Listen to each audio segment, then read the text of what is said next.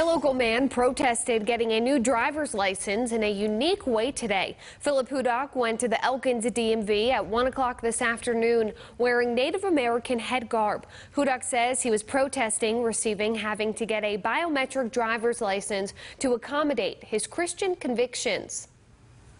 In the 19 years since all this began, I've just seen our country go downhill as far as um, Christians not being treated equally uh, and it's a shame that in our country, which was founded by on Christian principles and, and has the Ten Commandments three places on the Supreme Court in Washington D.C., uh, now Christians don't even have the equal the rights that that they're giving other uh, persuasions, people, religions, whatever. You know.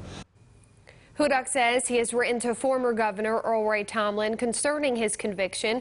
We've reached out to the DMV for comment, but have not heard back from them yet.